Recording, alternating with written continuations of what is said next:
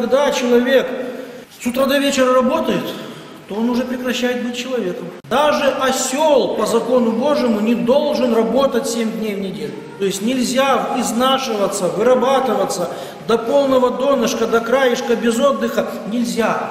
Человеку обязательно нужно отдыхать для того, чтобы думать о делах Божьих. Те люди, которые работоголичны, которые вот это, значит, погружаются в дела с головой, они, скорее всего, прячутся от себя. Они создают иллюзию своей незаменимости. Они пытаются себе самим или окружающим показать, что без меня вода не освятится. А этого нет. И это не надо. Человеку нужно знать свое место, и всяк сверчок должен знать свой шесток. Было, когда тебя не было, и будет, когда тебя не будет. Ты сейчас есть, и слава Богу, а не будет тебя, без тебя другой станет на место твое. И так далее. Ты сиди тихо хотя бы иногда. Хотя бы иногда сядь тихо и не дергайся. Благодать, оказывается, разбивается, как волны об камень, не только о явные грехи, но она разбивается, как волны о камень, о закрытые сердца, о сердца людей, которые не думают, не молятся и духовно не отдыхают. Таких людей очень много.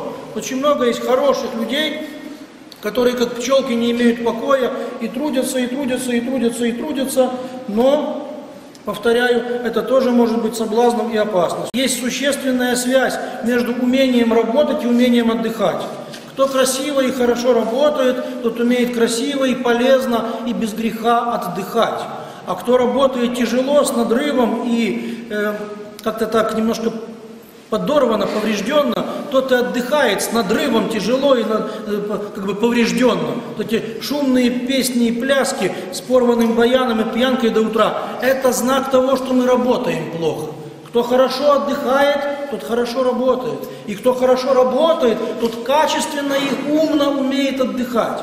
Мы как-то и работаем, как на войну идем, и отдыхаем, как будто с ума посходили, как будто из тюрьмы только что вышли. Это, это нездоровое явление, это очень нездоровое явление. Оно говорит нам о том, что мы ничего толком не научились за историческую, свою эту длинную-длинную историческую дорогу, понимаете? Значит, нужно учиться и отдыхать, и работать. Это очень связано между собой. Не нужно думать, что Бога можно прогневать только лишь очевидными грехами. Нет, оказывается, Бога можно прогневать тем, что ты не даешь места Ему в своей жизни.